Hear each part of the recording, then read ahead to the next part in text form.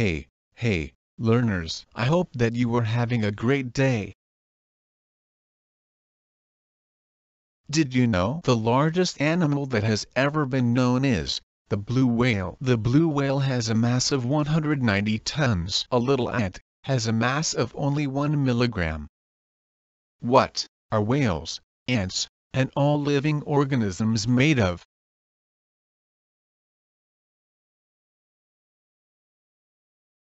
A wall is built using bricks. Living organisms are built of cells. Cells are very small and can only be seen under a microscope.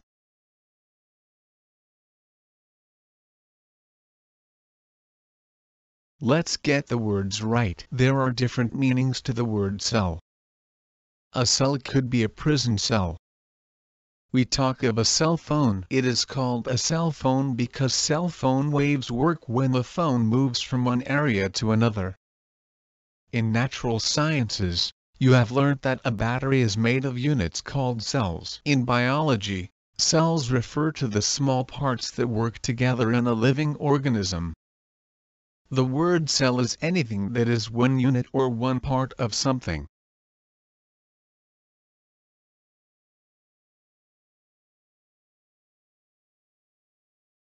Some living organisms only consist of one cell. We say that one-celled living organisms are unicellular. Uni means one. Other living organisms are made of many cells. We say that these are multicellular organisms. Multi means many.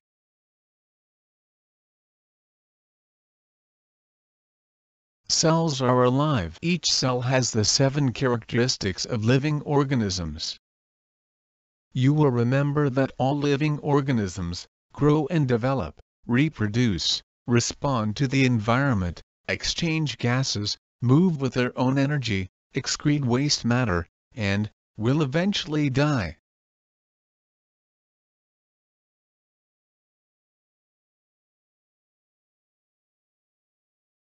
To help you to understand what a living cell is, we will look at the basic parts of cells. Before we begin, you need to understand that this explanation is very simple and that cells are far more complex than discussed in this lesson. You will learn much more about cells in higher grades. Living cells are surrounded by a membrane. The membrane holds the parts of the cell together in a similar way that a plastic bag keeps things together. If you have ever shelled a hard-boiled egg, you have seen the membrane that surrounds the egg. The membrane allows chemicals like water and gases to move in and out the cell.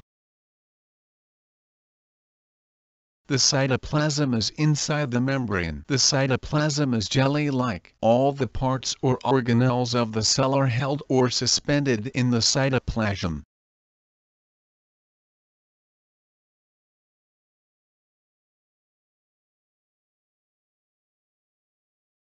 The central part of the cell is the nucleus. The word nucleus means that something is central to an object. In living cells, the nucleus controls the functions of the cells such as nutrition and reproduction. The DNA is found inside the nucleus. The term DNA is the abbreviation for deoxyribonucleic acid. That's a long word. The DNA is also known as the genetic material or chromosomes of a cell. The DNA is very important because it transfers information about a living organism from one generation to another. In other words, the DNA is responsible for the transfer of the characteristics of the parent to the offspring. It is because of DNA that you have your father's ears and your mother's smile. DNA transfers the information of all living organisms to the young.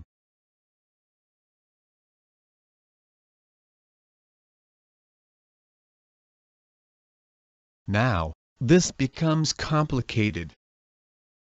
There are two major types of cells, prokaryote cells and eukaryote cells. The big difference between prokaryote cells and eukaryote cells is that prokaryote cells do not have a nucleus that holds the DNA in the cell. Eukaryote cells do have a nucleus that holds the DNA of the cell. There is only one group of living organisms that are prokaryote. These are the bacteria. The bacteria are thought to be the oldest living things that ever existed on Earth. All other living organisms are made of eukaryote cells. This includes the protists, mycota, plants and animals.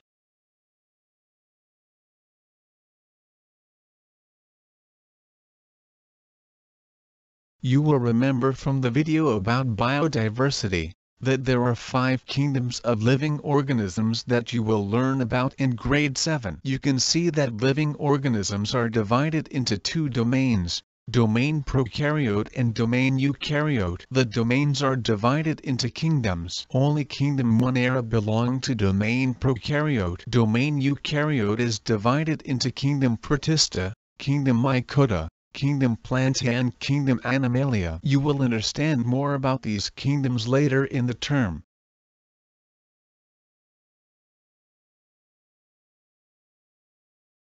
We know that prokaryote cells do not have a nucleus. The eukaryote cells do have a nucleus. There are two main types of eukaryote cells. These are the plant cells and the animal cells. There are other types of eukaryote cells too which we will not discuss here. These pictures show some examples of plant and animal cells as seen under a microscope.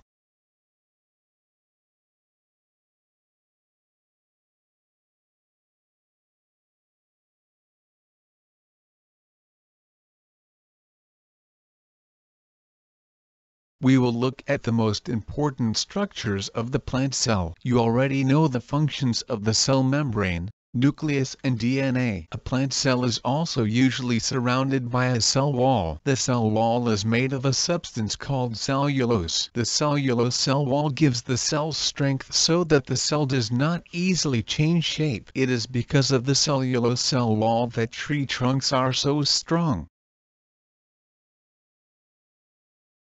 The plant cell also contains the organelles called the chloroplasts and the mitochondria. These organelles are very important to the plant cell.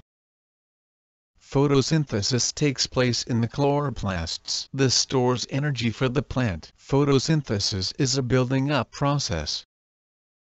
The mitochondria are important for the process of respiration. Respiration releases the stored energy so that it can be used for other functions of the cell. Respiration is a breaking down process.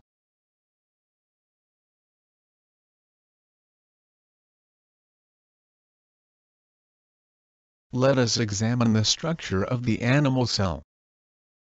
Animal cells only have a cell membrane. This means that the cell can easily change shape. Feel your arm. You can easily move the skin and muscles of your arm. This is because the cells in your arm do not have a cellulose cell wall. They only have a cell membrane.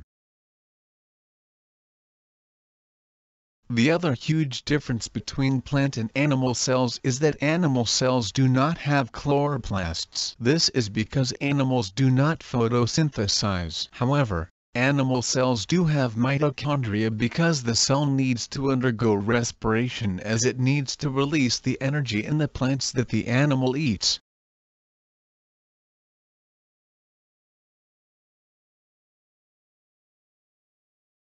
Can you tell the main differences between plant and animal cells? Look at this comparative table.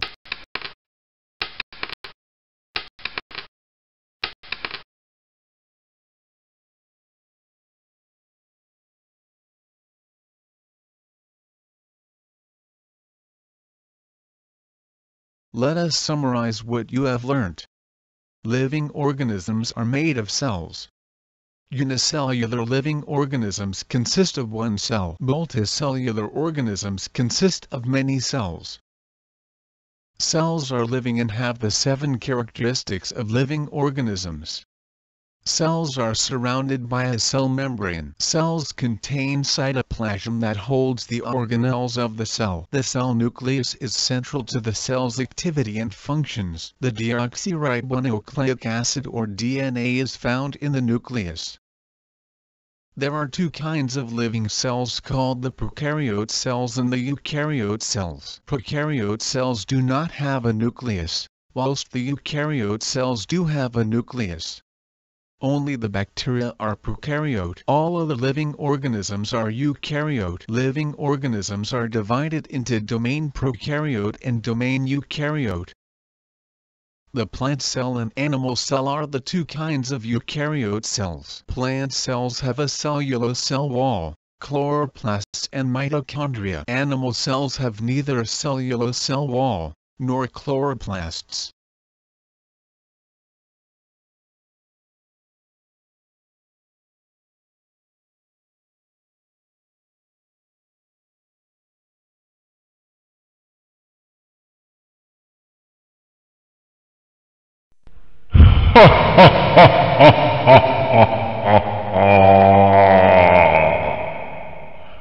Oh.